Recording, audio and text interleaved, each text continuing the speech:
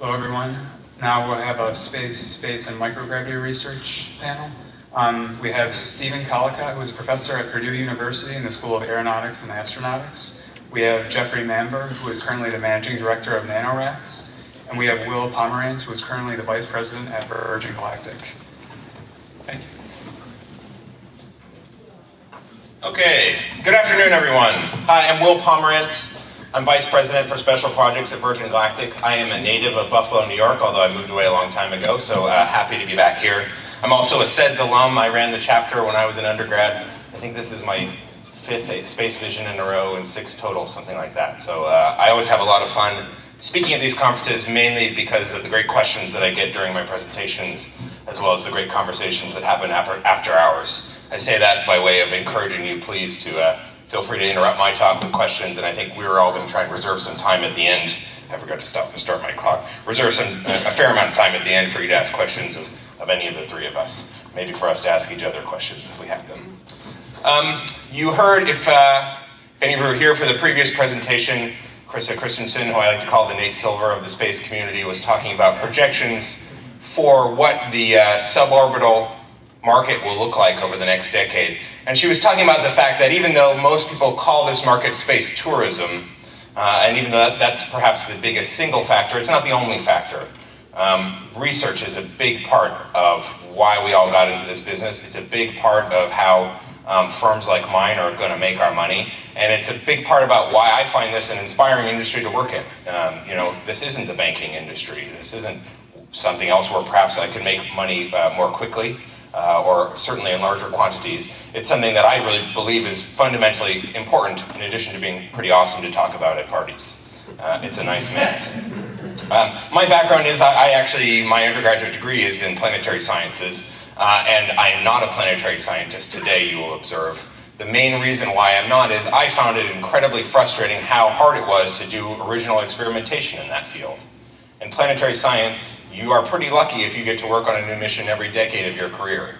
Uh, and heaven forbid that mission gets canceled or the launch vehicle doesn't do what you want the launch vehicle to do or any of a million other accidents that are completely out of your control happen. And the data that you were basing your thesis on or your career on or your tenure on may have just evaporated overnight. I found that frustrating. I have the greatest admiration for people who stuck it out where I couldn't. Um, but I think that there are probably a lot of people, and maybe some of them are sitting in this audience, who have some of the same thought process that I did. Uh, and you're frustrated whether you are an engineer or a scientist or a mathematician or any of these other fields, you're frustrated by the, frustrated by the lack of opportunities. It occurs to me, um, you, have heard a few times today that the total number of people who have been to space is about 500, 528, I think to be precise. Um, you know, if there had only ever been 528 petri dishes invented or built, we wouldn't have done a whole lot in medicine. You could make that same analogy in a lot of other fields. We have just not had enough of a chance to do original experimentation. Uh, and I think that the future, the coming decade, offers some real promise to change that. It's going to happen in a number of different ways. Now, a quick background to, to Virgin Galactic for any of you who aren't familiar with it. Uh, hopefully you've at least seen a picture, if not a video of that vehicle. Okay, it's still on your screen. This one keeps flickering on and off. Uh, that's called Spaceship One. This was the first privately built vehicle to carry human beings into space. It did it three times in the uh, summer and the fall of 2004. Uh, the thing that excites me most about this vehicle is that not only was it built by a small team, uh, sort of uh, on the order of 100 or 125 person years to build this vehicle, but it was extremely cheap to build and even cheaper to fly. Uh, this vehicle went from a drawing on a napkin to hanging in the Smithsonian for about $27 million uh, and it flew three times, which means the cost of the repeated flights, which happened as quickly as five or six days apart, uh, instead of being hundreds and thousands of person days and person months of work, which adds up a lot of cost, humans are expensive, they're the most expensive thing in the space industry, uh, the cost to, to get this vehicle flying again was a few person days or a few person hours of labor. meant that once we've paid for the cost of building the vehicle, you can offer a ticket to fly something to space or someone to space. And you don't have to charge very much for it because it doesn't cost you very much. Um, so that's why this vehicle is so, so important. Um, that was called Spaceship One. My company, Spaceship, uh, my company, Virgin Galactic, we licensed the technology that went into Spaceship One. We are building, and uh, our partners at Scaled Composites are building Spaceship Two. It is the larger, more glamorous version of Spaceship One, but it flies the identical mission profile. I won't dwell on it too long because I think most of you are familiar with it already. But we are an air launch system. We uh, are carried aloft to about 50,000 feet uh, by our mothership, the White Knight 2. Released from there, we fire up our rocket engine, and that takes us up to an apogee of just over 100 kilometers. So we're above the Kármán line, we are in space. If you're on board, you will earn your astronaut wings. Um, but more relevantly to this panel, if you are an engineer or a researcher or a scientist who has built an experiment, your experiment will get something on the order of four minutes of exposure to, uh, to microgravity. You, we have a dozen windows in the back of the vehicle. Uh, there is a picture of the real vehicles there. You see both the mothership and the, uh, and the spaceship. The mothership is sort of like a catamaran. It's a dual fuselage aircraft, so that's the two outer fuselages. The spaceship is the one in between. Uh, you can kind of see more on the uh, more on the mothership there than can on the spaceship. The, the, the large windows. So if you want to look out, if your uh, if your experiment has to do with looking down onto the Earth or looking out to the limb of the Earth or out into the black of space, you can do that as well. Uh, and then we have uh, this, just to click back to the last slide, if, if this works, we have this special reentry mechanism I'm happy to talk more about in the Q&A uh, called feathering, uh, which allows us to come back home safely. And, and perhaps quite importantly, um, this whole flight takes somewhere on the order of an hour and a half or two hours. Um, which is pretty brief, and, and that's actually quite important for a variety of experimenters, especially people who are dealing in the life sciences.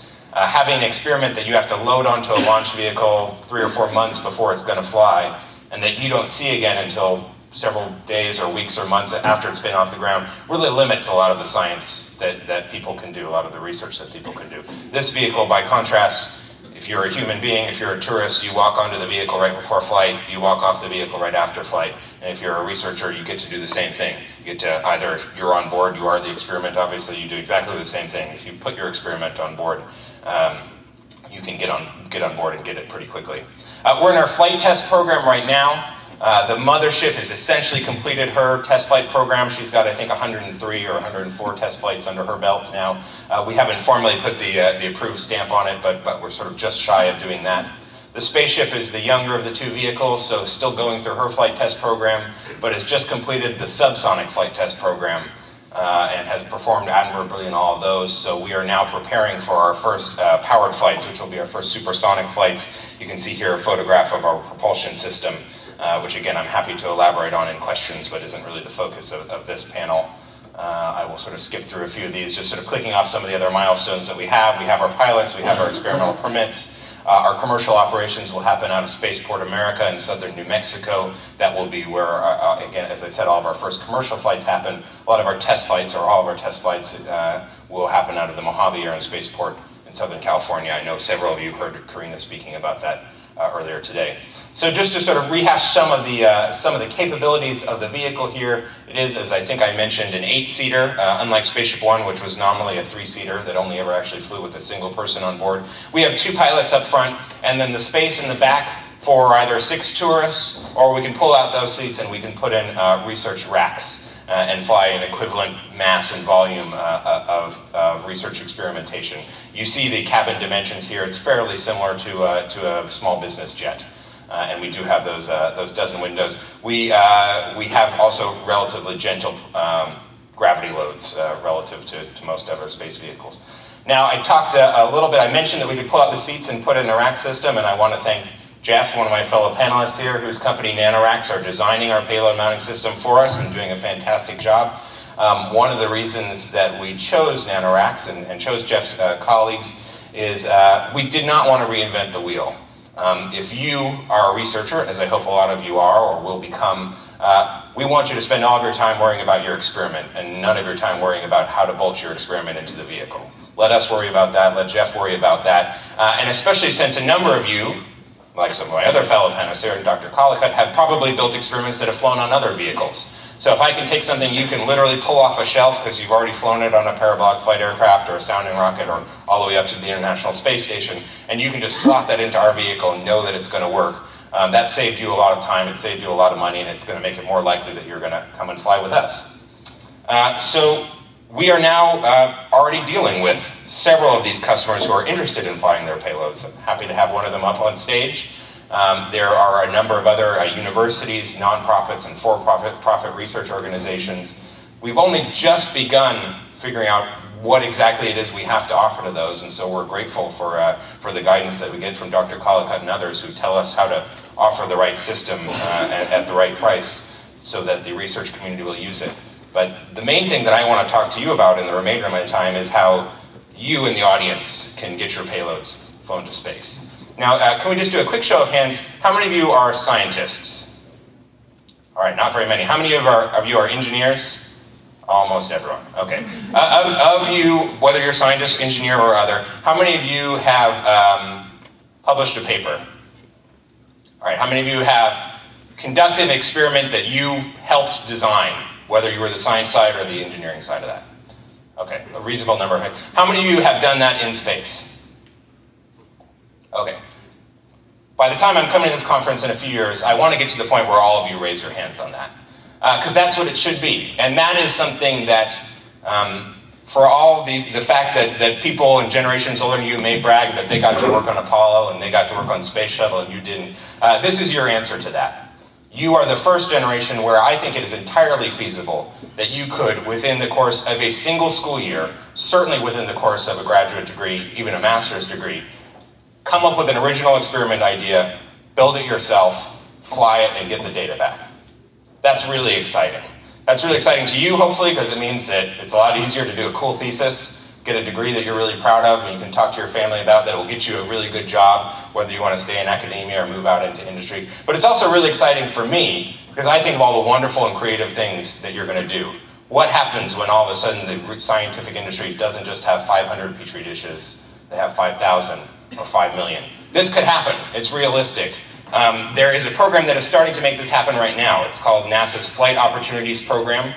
They have already bought flights. They've chartered a full flight from us with options for several more. And it's not just by any means limited to our vehicle. They've also chartered flights on several other vehicles, on Masten Space Systems, um, on uh, Up Aerospace, on Near Space Corp. They're, they're getting ready, I hope, to uh, charter some additional flights. So there's now a wide variety of vehicles on which NASA has bought flights, has paid for tickets, and they're giving them away to qualified applicants. Uh, and I will be honest with you, they are not getting enough qualified applications. So if any of you would like to uh, to, to do experiments in space, which I can pretty much guarantee will get you extra credit in Dr. Collicott's class. Uh, apply for this program. I'm deadly serious. There is no reason why a student-run program couldn't win. In fact, uh, I gave a similar remark last year, and a student-run program was selected, at least one that I'm aware of, and I don't even know all the ones that have been selected. So uh, hopefully you are taking this to heart. I really want to hear you uh, about, about how you've applied for this. Uh, here's a suggestion. I'm sure you all have a million ideas, but talk to your friends and roommates who aren't doing space. Maybe you have a roommate who is a biologist who's doing a cool experiment. Chances are, about a billion to one, that experiment has not been done in space. Copy out their experiment. Add in space at the end of every sentence. You've got the basis of a pretty healthy application. I'm joking, but I'm not joking. Now this program in specific right now is not doing science, it's doing engineering, although sometimes you can sort of sneak in science into the rubric of engineering. What they want is to show new types of experimentation that can be done in space. That's why my joke earlier is so true.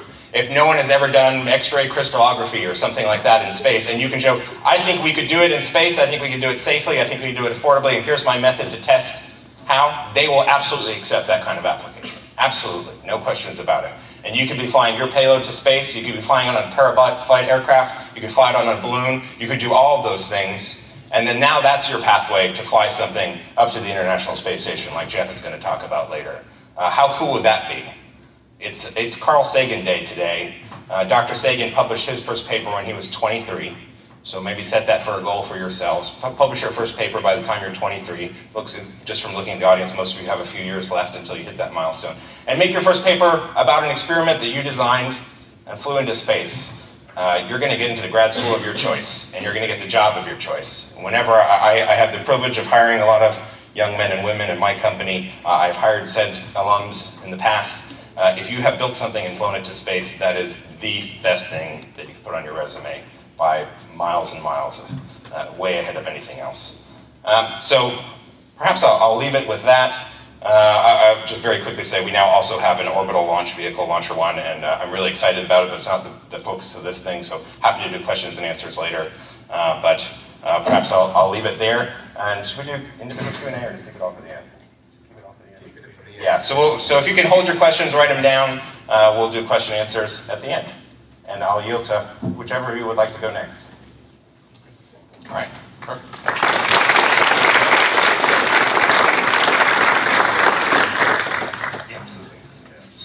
Hi, it's nice to be here. Uh, thanks for having me here. Um, I, I, will immediately uh, correct Will that uh, what he says will not get you extra credit in my class. That's uh, standard practice in my class at Purdue Aero 418 Zero Gravity Flight Experiment. So freshmen and sophomores in the room, you might think of transferring, juniors and seniors, sorry, it's probably too late for you. Um, so Purdue's a great place. I've been there 22 years, School of Aeronautics and Astronautics. Um, certainly one of the largest and best known um, aerospace engineering schools uh, in the world. Uh, we're living now in a beautiful new uh, Neil Armstrong Hall of Engineering. He was one of our alums, as was the most recent man on the moon and 21 other uh, astronauts. So let's see, did you take the, oh, here it is. Anybody's guess? Yes, the right way. So at Purdue, besides what I do, there's a lot of um, other activities I've listed here. Uh, Professor Mudawar in mechanical engineering does uh, flow boiling work in uh, zero G. Uh, Professor Cary Mitchell over in, I'll get it wrong, it's horticulture or something like that, uh, has spent a lot of years uh, working on problems in plant and biomass growth uh, in space, uh, obviously in support of long duration human spaceflight. Professor Ron Hullinger um, in veterinary anatomy really led the way for Purdue with many experiments in the Mir and shuttle years in avian embryology, Japanese quail, and chickens. Um, Professor Qiao, Li Qiao, she's a colleague of mine in aerospace. She does, uh, her thesis work was in low gravity, uh, microgravity combustion, and she still has an interest in that. Me, there I show you, I've done aircraft experiments, rocket experiments, drop tower experiments, balloon we're working on, and uh, space station experiments. And uh, my, my own field is generally uh, two-phase flows, liquids and gases together. If the vessel or the fuel tank is all liquid or all gas, it's, it's boring, okay? It's when they get together that the problems start. Uh, it's called job security for research, right? So, um, zero G activities of our students, I, I love to brag about. Um, I'm building my second drop tower at Purdue.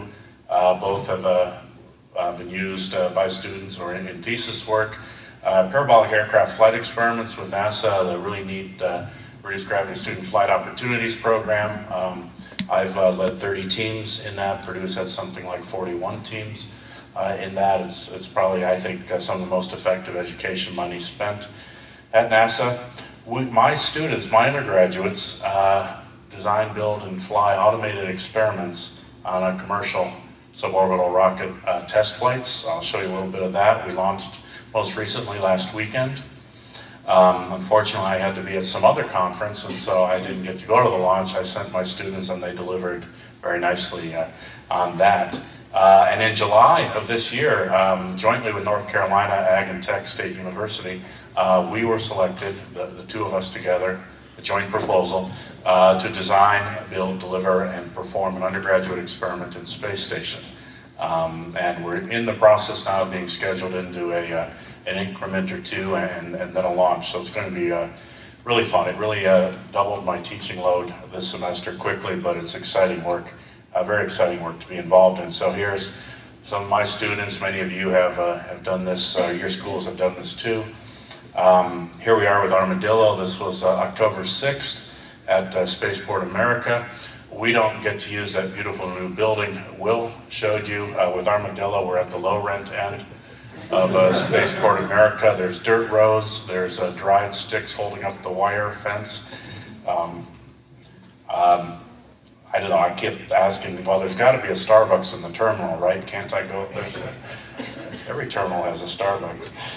Um, so this is um, the STIG B rocket after its uh, flight on October 6th. We, that was our fifth launch um, that, that we had there.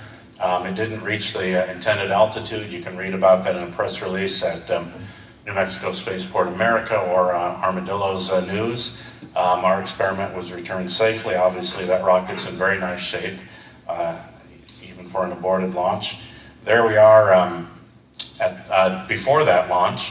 Um, uh, three undergrads and I at the bottom at the launch pad. This is just before fueling. Once they start fueling, we have to get away. So this is kind of the last uh, safe minute uh, near the pad. Um, our little logo there with uh, widget, the armadillo's uh, armadillo, right. Um, and our Astro logo in back, and you see Spear underneath. That's uh, students at Purdue experimenting on armadillo rockets. So Spear 6 launched uh, Saturday.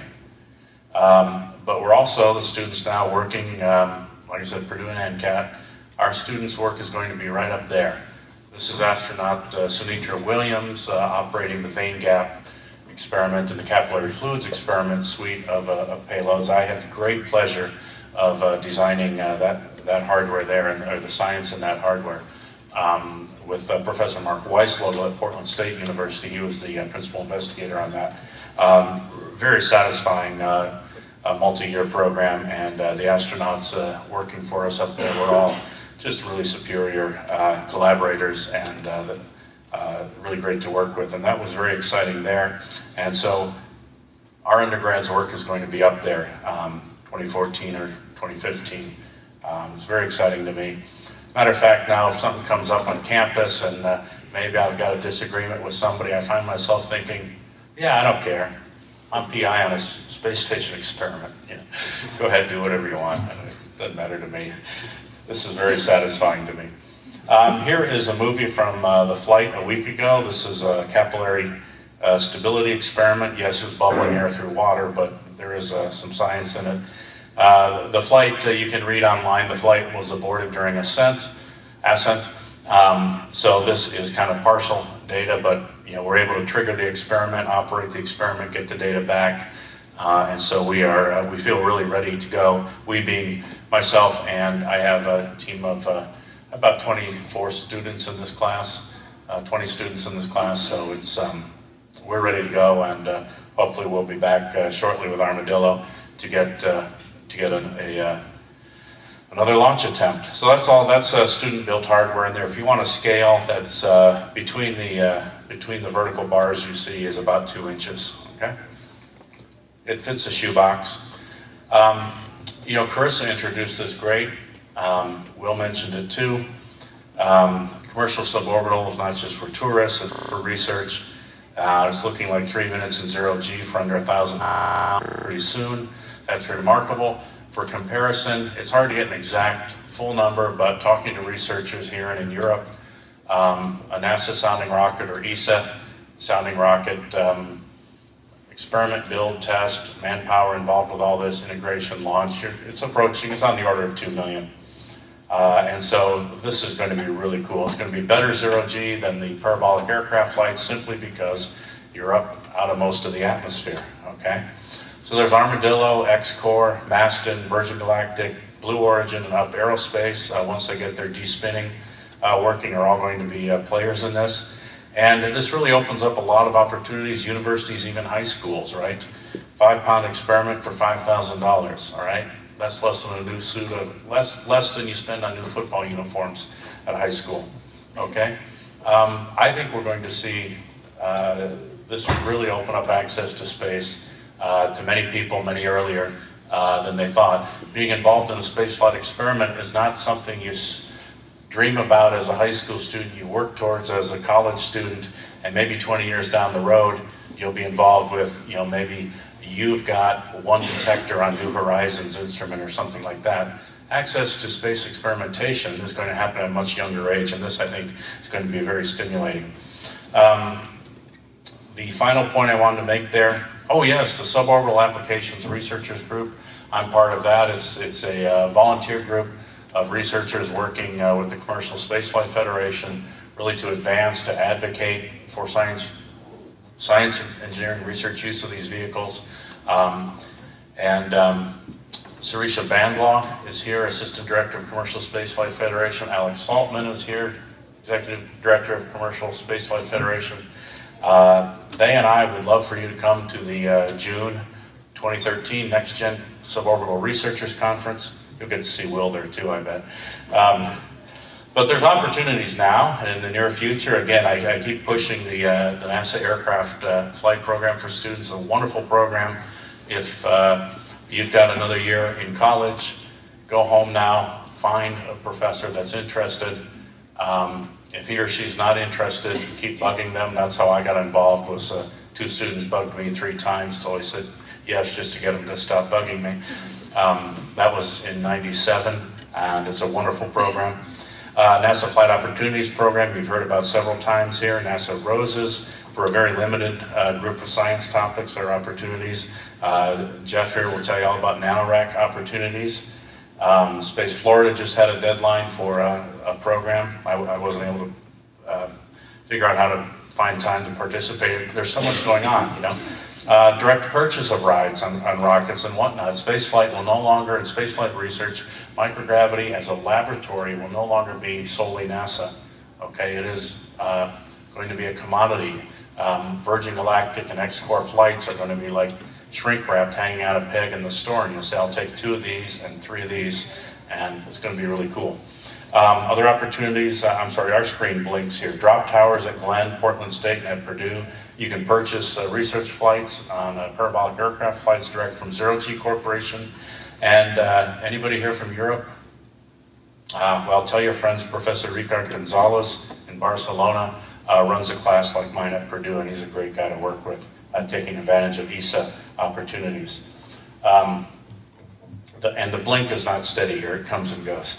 Um, so tomorrow's capabilities, again, automated suborbital payloads, even human-tended suborbital payloads uh, in the future on, on, several of these companies. Other companies aren't building yet for people, which is a maybe a smart choice for a business model too. Learn more at the Next Gen Suborbital Researchers Conference. It's, it's in the Denver area.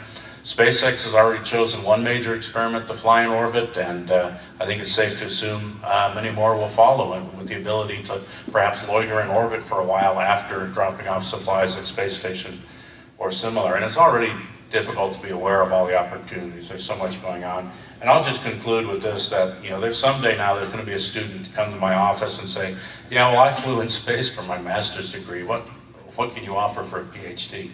That's, that's when we know we're really good really know we're there, okay? So thank you very much.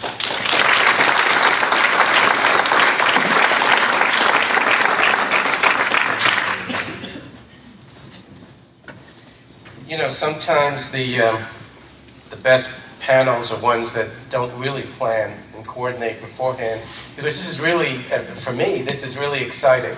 And you're seeing, uh, you know, everything that we're talking about here is, is really finally, after for us a decade a longer of waiting, these opportunities are now reality.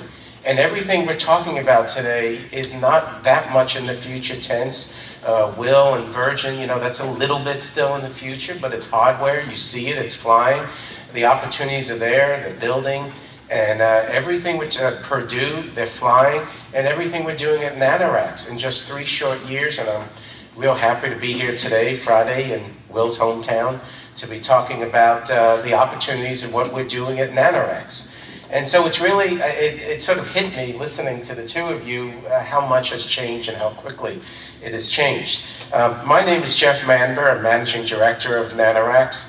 And I think tomorrow I'm speaking about some of the things I've done in the past with the Russian space program and uh, PanAmSat and busting up the Intel Intelsat monopoly, so I'll, I'll save my background for uh, tomorrow. Right now at NanoRacks, uh, we, we started NanoRacks because in 2009 we realized that there were few people using the space station. And we really had this, extra we have this extraordinary platform. The robustness of the station was clear to us in 2009. And just as everybody's saying up here today, we got together at NanoRacks and said, how do you lower the cost to get to space? How do you make it so that you have the opportunities now? And at NanoRacks, we believe that the next exciting breakthroughs are going to come lower and lower on the educational, you know, lower in, in age, lower in uh, just breaking open to cloud and uh, ideas. And so we wanted to come up with a way that you could use the International Space Station for a fraction of the cost. And we went to, uh, we went to NASA in 2009 and said, we have a, a deal for you. Uh, we'll put up our own hardware and we'll pay for it ourselves. We don't want any money from you if you just give us the opportunity and you let us market to whom we please. And NASA said yes. And so we put up, uh, we started with a, a, couple of research platforms that were in the CubeSat form factor, and we call them nanolabs. And we use the CubeSat form factor because everybody knows it around the world. And at NanoRacks, we say we're all about standardization, miniaturization, and open source. And just like Will was saying with those 500 Petri dishes, we share that passionately at NanoRacks. We want to break open the opportunities. And if we can lower the cost as much as possible, we're confident, and we're showing it now, that we'll have 5,000 and 50,000 Petri dishes. We went operational in 2010 on the station uh, with our two research platforms. And uh, today, uh, we've flown 78 payloads in two years. Our customers include everything from the NIH, and now we're really happy NASA's coming in as a customer, and there's some uh, uh, AOs, announcement of opportunities on the street for biological. We're page 72, and that's the first time that uh, NanoRacks has been part of a NASA announcement of opportunity. And in several months, there's going to be a mission of, of opportunity, I think they call it, dedicated just to NanoRacks. And so we're very, very excited by that. We've flown uh, through our educational partners 39 school districts. Uh, we've had um, 12 high schools have flown individually. And NASA says it's the first time in history that there's been national educational space programs, STEM, with no NASA funding. And we're very, very proud of that. And, and you see that if you give, uh, if you give students and educational organizations the ability to design an experiment and fly it, as we were saying, in a year, they respond. Our prices start as low as about $15,000 for 30 days on the station with biologicals, uh, passive, and it goes up to over 2 million. So it just depends on, you know, who you are, what you want to do. And uh, this is indeed a very, very exciting time. And at NanoRacks, we're already on the pathway for what we're all talking about here today to make sure that there's no reason why any student anywhere in the world cannot say, I want to do something on, in space and have that opportunity. We've also, right now in the station, we have two Israeli uh, high schools flying, along with uh, about 21 uh, American schools and school districts. We've flown uh, some Saudi projects. Uh, we'll be announcing a Romanian project soon. Uh, we just, I'll show some other things in a moment, but when we talk about how we've made things simpler at NanoRacks, you don't really understand it until you know what the status quo is. So I put this slide in just as a little dig sort of at our colleagues and friends at NASA. This is sort of the standard way to choose payloads to get to space. And at NanoRacks, we don't have peer group review. It's, uh, I was at one meeting at Johnson Space Center and a woman said, how do you prioritize your payloads? And I said, well, when the check clears the bank, you go to the front of the line. And, and, and so we just eliminate a lot of the, I mean, we can do that because it's not taxpayer money. And so, so it's different if you're using taxpayer money. But at NanoRacks, it's all about uh, uh, running a commercial business and, uh, and making sure the customer is happy. Um, if this video turns on, let's see if it turns on. No, it is not. It's a, it's a, um, it's a wonderful um, video, just a minute long, of Don Pettit, an astronaut, uh, working with one of our nano labs. Oh, now he's showing. Okay, this is another video of our external platform program, uh, which is something new. I'll talk about in a moment once we see uh, the video. We're now going outside the station, and uh, we'll be the first commercial company to have an external platform outside for much bigger payloads. This will be sensors, advanced satellite, uh, systems, materials. Our first customers are ready to CASIS, the Center uh, for Advancement of Science and Space, and we'll soon be announcing uh, other uh, customers coming in. And so this is just some wonderful footage here of inside the space station. This is the uh, Japanese module, and this shows a little bit of our history. On the left is our research platforms. And on the right are the astronauts. I love that, just Don just holding up, showing it. That's a 2U NanoRack, NanoLab. And we're, we're all about plug and play. Just very simple, as simple as you can as you can make it. And that's what we've done inside the station, and I just love this shot. Now we're gonna go outside, and there's some footage. We're gonna be right over on the left. That's where our external platform is gonna be. And you'll be able to go, no astronauts are required, no EVA.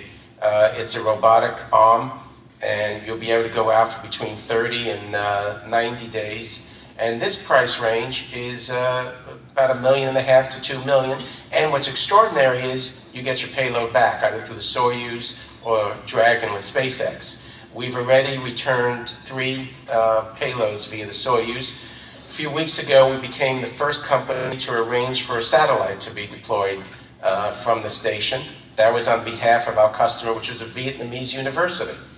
And so it's a, it's a very, very interesting time now and wonderful time. If you're a student, there's no limit to what you can do in space. And I love the analogy of comparing it to the basketball uh, uniforms, uh, basketball. So uh, let me see, we all know, I'll, I'll see if I can go forward. If we can kill the video. Okay, so I'll just keep going here in the interest of time. So at, oh, does anything? So at NanoRacks, what we're doing is it's it's absolute seamless ladder. As Will mentioned, we're really pleased and proud to be working with Virgin Galactic and designing their hardware racks. And what that means is you can design an experiment, use a, a, a, a nano lab, have your suborbital experience, have it six, seven, eight, nine, ten times, get everything working, and then come on up to the space station. And you don't have to reinvent the wheel. You don't have to you, play with the hardware. Just focus on your research. An exciting development, uh, we put out our first announcement of opportunity, like a real aerospace company at NanoRacks. We offered a $2,000 prize if someone would develop an open source, low cost nanolab. Uh, that would allow anyone to be able to understand how to use the circuit boards, etc. We got several good proposals. People said to us, no, it'll cost 50000 to do this. It'll cost 100000 And some students at Singularity and Stanford came up with uh, Arduino. And uh, by January, we'll be able to say to people, using Virgin, using uh, the racks on station through NanoRacks, here's an off-the-shelf, open source uh, nano lab. And so it's further lowering the cost to do research. And we're really excited about that. And okay, we did that already, external platform. Isn't this a fantastic picture? Everyone thinks this is Photoshop. The, this is the three satellites that were deployed several weeks ago from the station. The middle satellite is our customer. That's the Vietnamese satellite from FTP University. Just extraordinary picture. We've already signed up uh, four or five more organizations and companies to fly, but I just, I just love this picture. It's extraordinary. And um, and that's about it. At uh, NanoRacks, uh, the future is here today. We are committed to utilization. We have over 83 payloads now under contract and uh, waiting to fly in addition to the 70 we've flown. They're everything from high school to DoD uh, uh, projects. This is an extraordinary time. You have no excuse not to get involved in space, and, uh, and it's, it's, it's, we're really excited about what's going to happen next, so thank you.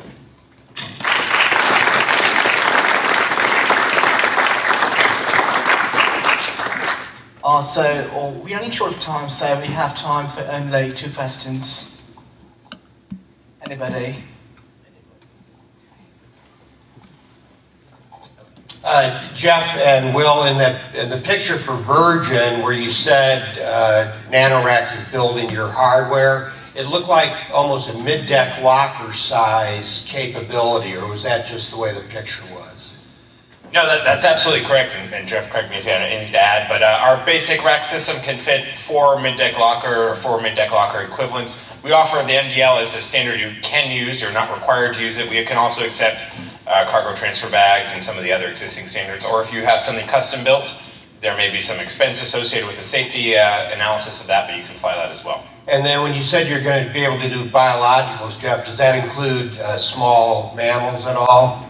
No, we, we, uh, we've elect, at, at, this point in time, we just don't have any reason to do Okay. Yeah.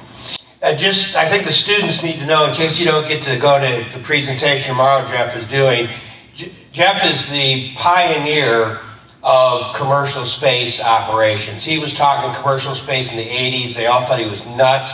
He was an early proponent of collaborative work with the Russians. He got a lot of flack from people, especially at NASA.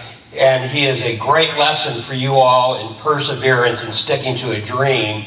And then he translated that all, got past his uh, uh, some of the ways he doesn't like the things NASA does, has gotten NASA to work with him to do this extraordinary stuff he is doing on ISS. And so just, you need to know who this fellow is. Thank you, Alan.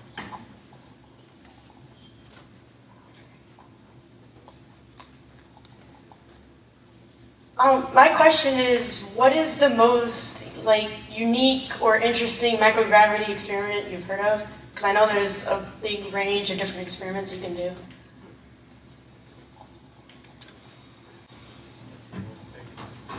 Should each do one? Yeah.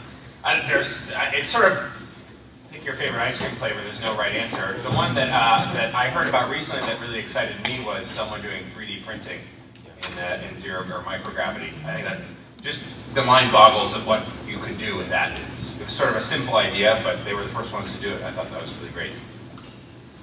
I think for me, um, maybe it's within my specialty and it kind of when I was first starting into the field, but there was a group uh, led by mathematicians, uh, uh, Finn and Concus, uh, at, at uh, Stanford and Berkeley, who uh, showed that a uh, axisymmetric container, um, such as this glass, um, may have, uh, when it's partially filled with liquid, uh, uh, may certainly have a uh, the lowest energy state uh, being asymmetric. And so this is a, a rude surprise in satellite fuel tanks if you don't anticipate it or in other uh, things like water air separation for life support systems. So to me that was, I, I think, the most interesting or exotic one because it was a simple little piece of hardware and the implications of it or the impact of it um, is, very broad. We have a uh, customer doing uh, uh, the first electroplating in space, which is going to reveal uh, some very fundamental things about materials. And what makes it so, and it's gotten the interest of NASA, and what makes it so interesting, it's the Valley Christian High School out of San Jose, California. So this is what we're saying about the uh, creativity and the breakthrough getting uh, younger and younger as the, the amount of opportunities increases. So even on its own, the electroplating in space would be interesting, but uh, we're just so, just we just love the fact that it's a high school in San Jose.